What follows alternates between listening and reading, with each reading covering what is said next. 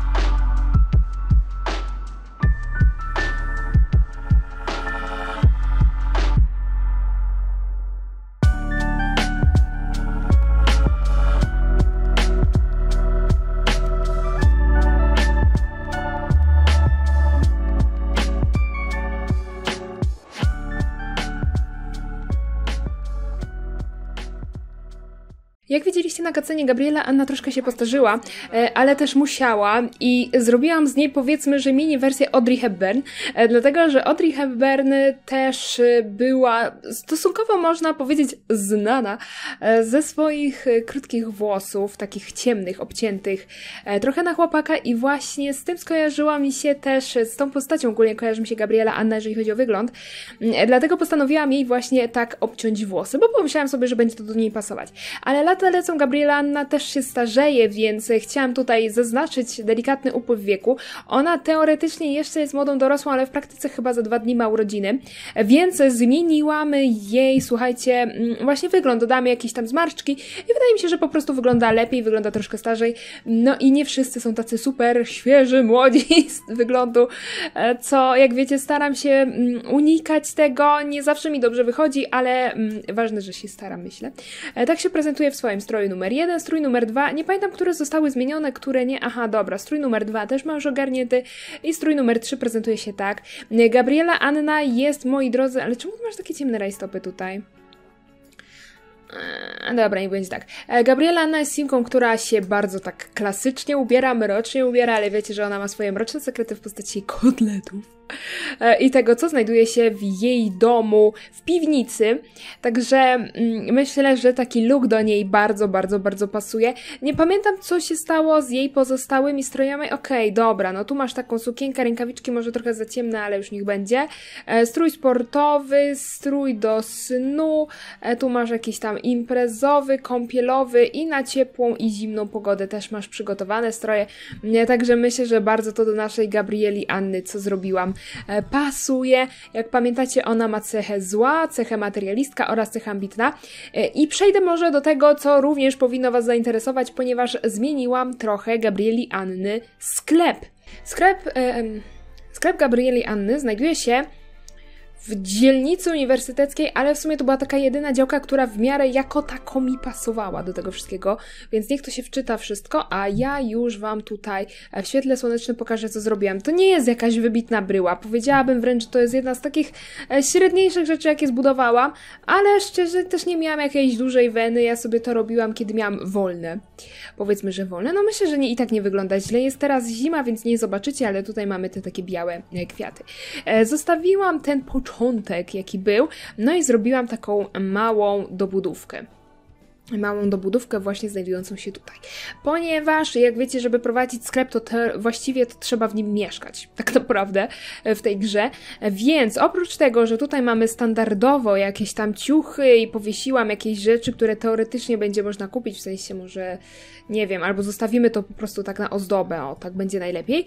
No to oprócz tego mamy tutaj takie wejście i wchodzimy sobie tutaj do e, mini kuchni, mamy tutaj mini sypialnię zrobioną i mamy mini mini łazienkę, mamy też schody tutaj na to piętro, y, ale to piętro jest puste.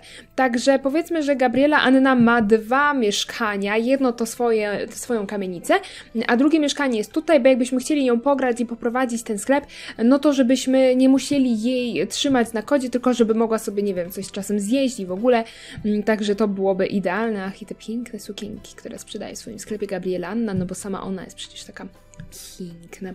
Także to jest jedna ze zmian u Gabrieli Anny, ale nie jedyna. I zanim przejdziemy do Daisy, jeszcze pokażę Wam kolejną zmianę u Gabrysi, tylko Gabryśka, wracamy do domu.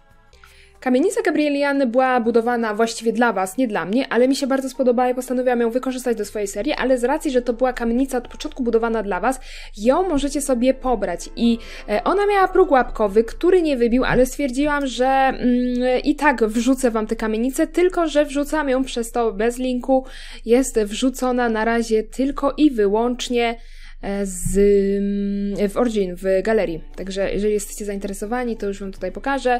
E, pani Scarlett się nazywam, kamienicę znajdziecie tutaj. E, możecie sobie ją pobrać. Taki dzień, tak, do wyboru i do koloru, ona jest umeblowana. Ale widzę, że tu się coś dziwnego stało z tym. O nie. Nie robiłam jakiejś super wiochy lat 60. Wiecie, że mimo wszystko ja muszę to mieć po swojemu zrobione. Mi też się musi podobać, żebym ja grała. E, ale starałam się coś tam od siebie dodać. E, na pewno wprowadziłam do tego mieszkania więcej kolorów. I przede wszystkim zmieniłam kuchnię, bo stwierdziłam, że kuchnia była zbyt jasna, dodałam właśnie smega tutaj. E, chciałam troszeczkę tę kuchnię, powiedzmy, że wystylizować na to, co miała Audrey Hepburn w śniadaniu Tiffany'ego. Zmieniłam też tutaj kolory i tapety, ponieważ nie chciałam, żeby to było takie śnieżno-białe, chciałam dodać tutaj jakiegoś koloru, więc jak widzicie, mamy brązową szafę, brązowe drzwi i takie oto tutaj sztukaterię, tutaj mamy te tapetę w kratkę i tak to się mniej więcej prezentuje, chociaż prawdopodobnie chyba cały ten pokój zrobię w tej sztukaterii, bo jakoś mi się ona bardziej podoba niż ta krata, wiecie? Chyba tak zrobimy. Może tę kratę tu zostawię, a tym sobie przejedziemy tu. O, a tu? No tu chyba tę kratę zostawię. Chyba tak. Tylko, że mm, jeszcze te sztukaterię ogarnę z tej strony. E, także tak by się to prezentowało, jak mówię, dużo cieplejsze. Niestety z tymi kolumnami jest problem, bo one cały czas mi się opuszczają do tej wysokości, chociaż powinny być do góry, ale już nie chce mi się tego zmieniać. Zmieniłam telewizor na ten klasyczny, który mamy wszędzie, jakieś drewniane regały, jakaś tam kanapa. No myślę, że jest na pewno dużo teraz tak cieplej w tym domu, tak bym powiedziała. A jeśli chodzi o górę, no to tego pokoju nie ruszałam. To jest jakiś taki pokój niewykorzystywany przez nas, bo jak wiecie, Gabriela Anna nie przyznaje się do swojego dziecka, tak naprawdę, które mm, to dziecko chyba już nam podrosło do wieku e, szkolnego, z tego co kojarzę. A nie, jeszcze jest Toddlerem, jeszcze jest Steve Evans y, Toddlerem. I e, mamy tutaj sypialnię, w sypialni różowe zasłony, jakaś tam, jakieś tam łóżko w paski, także tak, no, się to wszystko pozmieniało. Myślę, że wygląda całkiem nieźle. A skoro już Was tutaj zanudzam i opowiadam Wam o tym, co się zmieniło i co sobie tam e, zrobiłam prywatnie, to teraz przejdziemy do Daisy, którą bardzo chcę Wam pokazać, ponieważ jest jedną z tych simek, e, które wydaje mi się fajnie mm, mi wyszły. Moi drodzy, Daisy, ona ma bardzo musicie przyznać, urocze nazwisko, ponieważ nazywała się Piskosz. Tak mi się wygenerowała i zrobiłam z tego Prisket. Możecie sobie to czytać, jak Wam się podoba. To jest y, ciąg jakichś tam literek, y, który sama sobie E, wrzuciłam, w sensie sama sobie wymyśliłam, to nie jest jakieś prawdziwe nazwisko. Jak większość nazwisk, które pojawiają się w moich rozgrywkach, właściwie chyba naprawdę niewielki procent ma jakieś takie realne nazwiska, wszystkie są wymyślane, jakieś tam w mojej głowie, byle jak, byleby po prostu jakoś to brzmiało e, i tak to u mnie działa. E, natomiast Daisy, moi drodzy, prezentuje się tak, ma spięte tutaj afro, i do tego piękną granatową sukienkę. Jest to kobieta takich, powiedziałam, pełniejszych kształtów, młoda dorosła, romantyczka, znawca sztuki oraz smakoszka. Jak wiecie, Daisy zapoznała się, przynajmniej w cutscenie zapoznała się z naszą Gabrielą Anną, ale chyba w realu się za bardzo nie znają, a chciałabym, żeby zostały przyjaciółkami. Więc Daisy musi się jeszcze z Gabrielą Anną tak w dzisiejszej rozgrywce zapoznać. Jak wiecie, 1960 ma się charakteryzować, znaczy nie ma się, ale można wreszcie e, wprowadzać jakoś tak simów e, innych e, ras, po prostu innego wglądu. Ja się z tego powodu bardzo cieszę, więc oprócz tego, że mamy Azjatów, czyli Jun i Hugh, to mamy tutaj też Daisy, która właśnie jest ciemnoskóra i myślę, że prezentuje się przepięknie. Jest taka naprawdę, wiecie, chciałam, żeby była taka kształtna, taka kobieca, taka no po prostu fajna i myślę, że taka właśnie wyszła, jak sobie ją wymarzyłam. Te piersi ma dosyć duże, ale mm, wiecie, że ja to zawsze tam z tymi piersiami coś tam dowalę. A figurę myślę też ma przepiękną. Jest po prostu cudowna. No kocham tę Simkę, no co mam wam powiedzieć? Kocham ją jak ją zrobiłam, to wiedziałam, że, że kurde, jest jedną z takich simek, które bardziej lubię w swoim wykonaniu. Ma oczywiście stroje zrobione na ciepłe pogody, zimne pogody. Tutaj chyba to nie bardzo, jeżeli chodzi o e, czasy, ale mm, musiałam coś zrobić na szybko. Także nasza Daisy i jej piękna suknia. I wiecie co, tak sobie myślę, że może Daisy, ty powinnaś mieć jeszcze jeden jakiś strój zrobiony. Tak więc nie mamy na co czekać, tylko zaczynamy naszą rozgrywkę. Rozgrywkę tym razem w domu. No powiedzmy, że Mac Tinsleyów, ale Gabriela Anna, jak wiecie, to ona jest rozwódka, no i miała męża. Jest godzina 5.11. Czy ty, Gabriela Anna, czegoś potrzebujesz? Bo oprócz tego, że e, ty chyba Daisy tutaj nie masz znajomych, więc będę musiała jechać do Wierzbowej Zatoczki i z Daisy się tak e, faktycznie tutaj poznać, bo chcę, żeby dziewczyny razem e, spędziły czas. One się super dogadały a propos a propos mody, chodź sprzątniesz tutaj. I właśnie zaprosimy gdzieś e, Daisy, może zaprosimy ją do restauracji, coś sobie zjecie razem dziewczyny. A w międzyczasie ty chodź tutaj, co tutaj jest? No tak, bo przecież to jest jeszcze to mięso, które my robiliśmy, bo wiecie co my mamy tu na dole? w zamurowanej części piwnicy. A, jeszcze nikt nie wie, co jak wszyscy myślą, że tutaj są uciekinierzy, a tak naprawdę Gabriela Anna. No, zemściła się. O Boże, ja pamiętam ten dom, choć wesołe zapoznanie. Bo wy się już teoretycznie zapoznałyście. I robimy działania, dodaj do grupy i na pewno wyjeżdżamy z tego domu, nie będziemy tutaj siedzieć. O, co to, to nie. I tak sobie myślę, że skoro my jesteśmy takie, ja nie mam tutaj tej siłowni zrobionej, ani tego muzeum postawionego, Ojoj, ale bieda, nie załatwiłam sobie tego. A chodźcie tutaj, do biblioteki w takim razie pójdziecie. Bo nie będziemy siedzieć w domu. E, ale zawaliłam, bo ja myślałam, że mam tutaj te wyedytowane przeze mnie parcele. Mm, a nie mam ich na tym zapisie, więc muszę sobie to popodmieniać. Ale to w wolnej chwili, to już nie, nie w dzisiejszym odcinku zdecydowanie.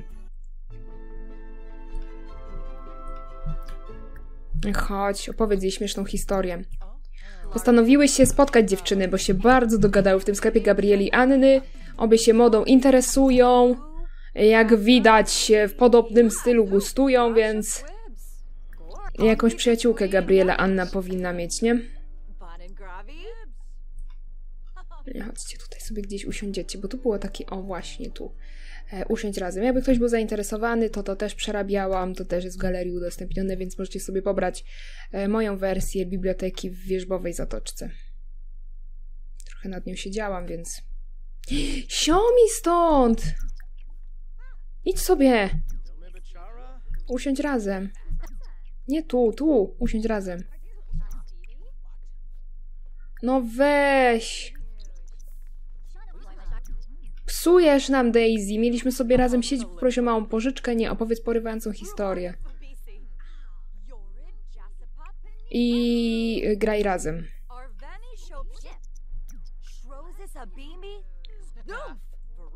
E, ta biblioteka powstała tylko i wyłącznie z podstawy i możesz sobie ją pobrać tak właściwie każdy.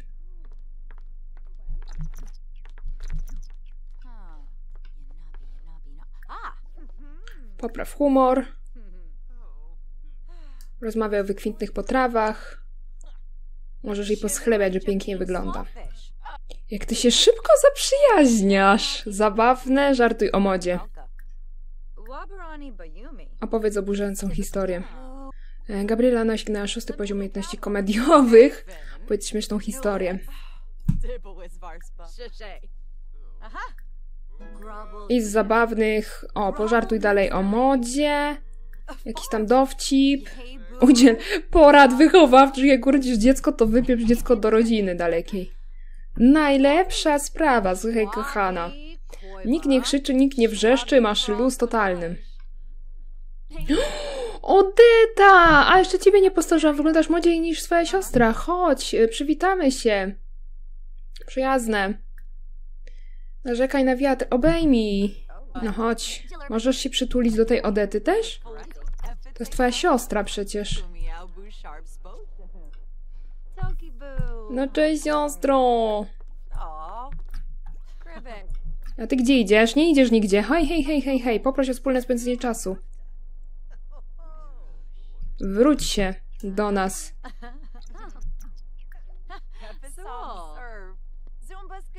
Aha, zapytaj o termin, to jest złośliwe, rozumiem. Popraw humor. O, jakieś purchlaki z rodziny. Jakaś Beata McTinsley, cokolwiek to było. A, to też jest nasza rodzina. W ogóle nie kojarzę tych purchlaków, ja się zawsze skupiam na jednych z nich, a potem jakieś McTinsley chodzi i sobie myśli człowiek, co to za McTinsley? Mm, Ale fajnie, poznasz, y, poznasz Odeta naszą naszą koleżankę, poprosi o wspólne spędzenie czasu. Nie, ale my tutaj spę- spędzamy z tobą ożywiona rozmowa. I bardzo cię proszę, zrobisz pewną rzecz, mianowicie nasza Daisy poprosisz ją o dołączenie do rodziny, w sensie takim, że e, Daisy, moi drodzy, jest simką, która się tutaj wprowadziła, ale ma problemy ze znalezieniem jakiegoś lokum, no i sama właśnie nasza Gabriela Anna zobaczyła, jak Daisy mieszka, zresztą wy też widzieliście, tragicznie, więc e, Gabriela Anna wpadła na pomysł, że no przecież mieszka sama, teraz Odeta ma swój dom, Odeta już z nią nie siedzi, w domu jest miejsce, więc spokojnie Daisy może się do nas wprowadzić i e, dołączyć do naszej rodziny, a przy okazji dzięki temu Daisy e, jest też e, znawcą mody, więc będzie mogła się odnaleźć w naszym sklepie. No po prostu Daisy ma gdzie mieszkać, może się zatrzymać e, u nas. I powiedzmy, że teoretycznie ona będzie mieszkać w sklepie, e, ale tak e, w praktyce oczywiście ona będzie mieszkać z nami, także takie zatrudnienie Daisy, że Dai- Daisy będzie sprzedawać w naszym sklepie, niby tam mieszkać, ale być z nami. I chyba się powtarzam, ale wiecie o co chodzi. Więc y, bardzo proszę, Daisy, chodź się do nas przeprowadzić. Witamy cię bardzo serdecznie, Daisy. E, I teraz ty, Daisy, zapytaj o... Cho- o! A co to na tobie wyszło? Choroba od trupia jakaś. Zgnilizna od tych wszystkich śmierci, które powstały. Zatkany nos. Chodźcie dziewczyny, wrócicie do domu, bo tutaj mamy zatkany nos. Oczywiście już w dzisiejszym odcinku nie pójdziemy z naszą Simką właśnie do tego sklepu pracować, ale e, sama idea jej wprowadzenia przynajmniej jest Wam już znana, a Ty chodź, musisz sobie zamówić, czy Ty masz gdzieś tutaj, e, masz komputer, powiedzmy, że komputer, więc robimy sobie tutaj e, zamów, kup lekarstwo. Okej, i ty sobie to lekarstwo weź. Natomiast ja nie rozumiem cały czas, czemu ta nasza simka e, to jedzenie tutaj ciągle wyciąga. W sensie, ja nie wiem. Tu aż tak nie ma miejsca? No mogę stąd usunąć niby teoretycznie te rzeczy. Może tak będzie lepiej? Oczywiście obecność Daisy teoretycznie trochę komplikuje to, że Gabriela Anna ma tych swoich kochanków, którzy niby teoretycznie o sobie nie wiedzą, a w praktyce no to chyba każdy o tym wie, że jest y, kochankiem Gabrieli Anny i, nie, to, i to nie jedynym. Natomiast Daisy jest taką kobietą, która dosyć dobrze się tutaj odnalazła i mm, dosyć dobrze się dogaduje właśnie z Gabrielą Anną, więc więc sekret zostanie zachowany. Odłóż, proszę bardzo. Chodź tutaj, Daisy. Poznaj.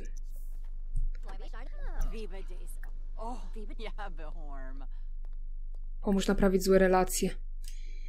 Uuu, nie, nie, nie, nie, nie. Wzbudź zbudną pewność siebie, okaż jej podziw. Nie wiem o co chodzi zupełnie, że, że oni nie mogą tutaj wejść. No to tu idziecie.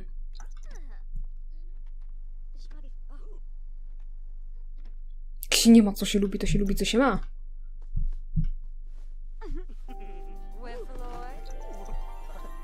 Dobra, jesteśmy po Barabara. Ja postanowiłam jednak na szybko tutaj wejść i zrobić łóżko. Nie wiem, dlaczego nie można wchodzić do tej sypialni tędy, czy sypialni, do tej łazienki tędy. Będę sobie jeszcze to ogarniać, chyba że wy macie jakąś propozycję, dlaczego niby. Jak tutaj teoretycznie jest super przy... A weź chodź mi tutaj podejdź. Znowu noc. Jakoś nie wiem, dzisiejsze odcinki wszystkie zaczynają się nocą. E, Witam Was bardzo serdecznie w BB, w dworze, willi, pałacu, jak zwał, tak zwał, rodziny McTinsley i wątku naszego e, artystycznego Ronalda. Ronald, co Ty chcesz od swojej mamy? Porozmawiaj z Simką o imieniu Jane Brittany. Czy ja mam tutaj wolną wolę włączoną? O, kurczę, nie, nie, nie, nie, dziękujemy, zastosuj zmiany. E, Ty, Ronaldzie, powinieneś spać o tej porze, bo tak e, weszłam oczywiście głupio. E, Ktoś tam się śmiał, że to jest creepy, że on ma June tutaj namalowaną. Coś w tym jest, bym powiedziała, nawet mocniej niż trochę. Powiedziałabym, że bardzo coś w tym jest. Chodź tutaj, Jane Brita. Wszyscy idziecie spać. Ty też idziesz spać, Michael. Widzimy się rano kiedy już e, normalne światło będzie wszędzie, w całej tej willi. Oczekujemy na śniadanie. E, Jane Brittany, mm, zapytaj o plany na przyszłość. Świętuj rodzinę Simki imieniu Jane Brittany, urządzając wystrzałowe przyjęcie urodzinowe. A, bo ty dzisiaj stajesz się emerytką. E, Pyta nasza Jane Brittany o plany życiowe Ronalda, ponieważ ona zauważyła, że Ronald coś za mocno ostatnio mm, przebywa w towarzystwie June. I oczywiście ona teoretycznie czuje się spokojna, dlatego że June jest zaręczona, ale tak sobie myślę, że historia pokazywała jakieś tam różne scenariusze. E, oczywiście Jane Brittany w ogóle. O Jezus, kurczaka na śniadanie nam zrobiłaś. No super porcja dla rodziny. Fajnie, fajnie, fajnie, cieszę się. E, Historia pokazywała nam e, różne scenariusze, jeśli chodzi o rodziny i rodzinne dramaty, więc cóż, chodźcie wszyscy, weźcie sobie porcję. Musisz się upewnić, że nic się tutaj złego nie stało, prawda? I ty też chodź go zapytaj, chociaż on tak do końca nie jest twoim synem, no ale e, popraw mu humor. Wy macie takie średnie z Michaelem relacje. I ty chodź go zapytaj, czy znajdzie sobie jakąś inną e, panią, bo już jest w takim wieku, w którym powinien e, mieć miłość swojego życia i w ogóle rodzinę zakładać. Bo za czasów Jane Brittany to już w wieku nastoletnim się dzieci posiadało, a nie plątało.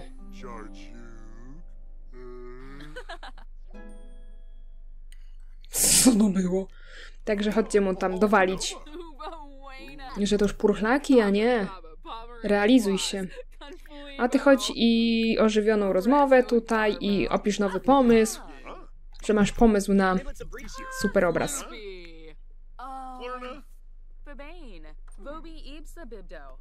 Byłem malarzem, w sensie on tutaj teoretycznie nie ma pracy, ale w praktyce powiedzmy, że zarabia sobie właśnie jako e, malarz, artysta. Ronald Jones, dobra reputacja. Chodź tutaj, Ronaldzie, zagraj sobie koncert. A wy rozumiem, że idziecie za chwilę do pracy.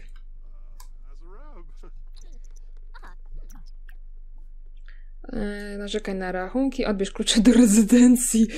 No nie, no gdzie? To już jest twoja żona. Pocałuj ją. Tutaj e, wasza miłość się odrodziła. Pomimo, że historię mieliście delikatnie rzecz ujmując skomplikowaną.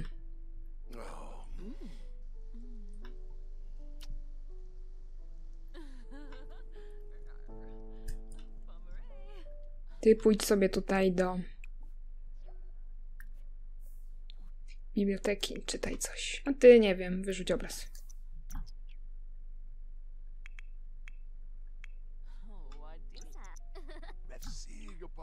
Nie możesz tu podejść. Podejrzewam, że nie możesz tu podejść. Podejdziesz tu? Podeszłeś! Rozpalisz? Możesz to czytać, czy nie możesz? Czy ja to tak wszystko zablokowałam, że... Chodź, czytaj coś, a ty sobie usiądź. Nie ma Jane Brittany, więc nikt się nie będzie czepiał, nie? W sensie on nie wie, że Jane Brittany to nie pasuje, ale... Wręcz zabawny prezent. Ale przeczuwa, że coś jest nie tak. A tobie może zmienimy ubranie, bo cały czas do nas przychodzisz w jednym. Chodź, żebyś miała takie coś innego na sobie, a może być to. Jaki on ma głos! Chodźcie, usiądźcie sobie tutaj razem. W jakiej mini przybyłaś? Mm, Rozmawiaj o deszczu i połaskocz ją bezlitośnie. O Jezu, ty jesteś też chory? I święto zbiorów jest niedługo. Uuu, trzeba będzie zorganizować. E, kup prezenty, bo tu chyba powinno być lekarstwo, z tego co kojarzę. Jest. Wszyscy są chorzy. Denerwuje mnie to. I pochwal wygląd jej.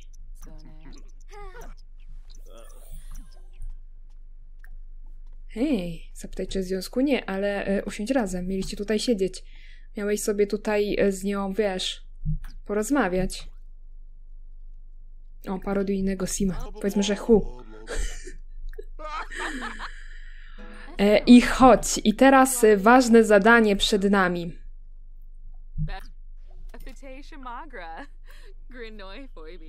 Ty miałeś iść do roboty. Idź do roboty. Jest dziesiąta. Spóźniłeś się. Spróbuj uwieść. Nie, ale zrobisz jej masaż. Skoro ją plecki bolą, zrobisz jej masaż i jej opowiesz o swojej propozycji.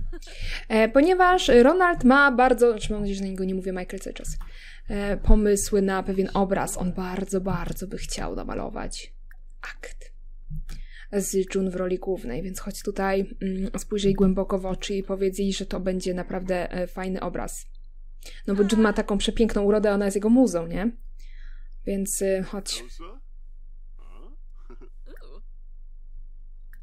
I z romantycznych poproś o masaż, ośmiel się, drocz się zalotnie.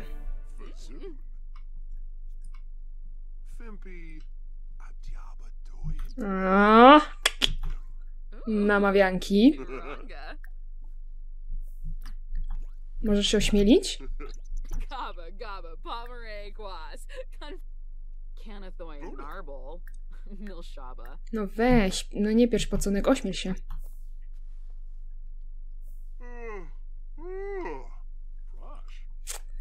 June, przecież ty masz faceta, zapytaj czy jest w związku, nie, ale łaskocz bezlitośnie jeszcze raz.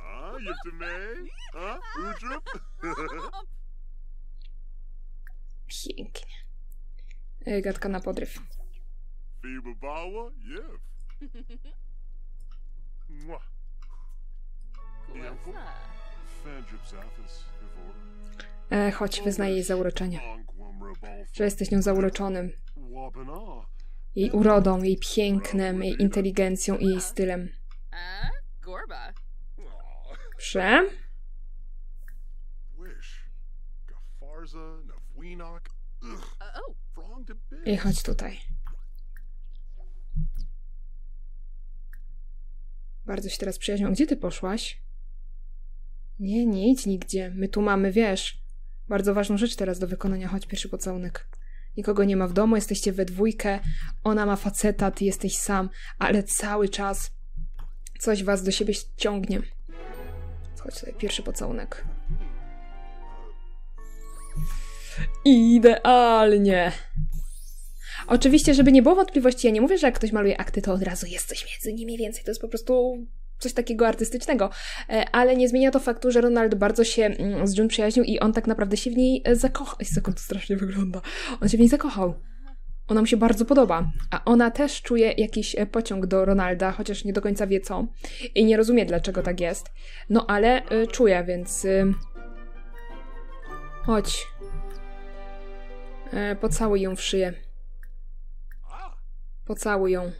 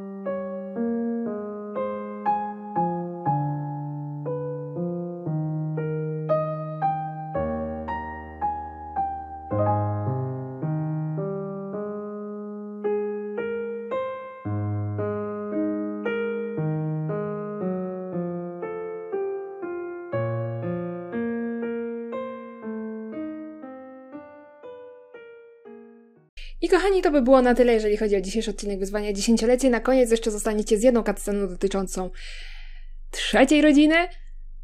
I tam będzie wyjaśnione coś, o co pytaliście się w komentarzach, ale nie mogłam Wam dokładnie powiedzieć. Natomiast dużo osób domyślało się, że coś tutaj nie grało, mm, jeśli chodzi o hipnozę. E, Ale tego wszystkiego dowiecie się już z cutsceny. Natomiast ja się już żegnam. Jeżeli podobał Wam się dzisiejszy odcinek dziesięcioleci i nasze małe dramaty, które się tutaj rozpoczynają, to pamiętajcie o zostawianiu komentarzy, łapek i widzimy się następnym razem. Trzymajcie się cieplutko. Cześć!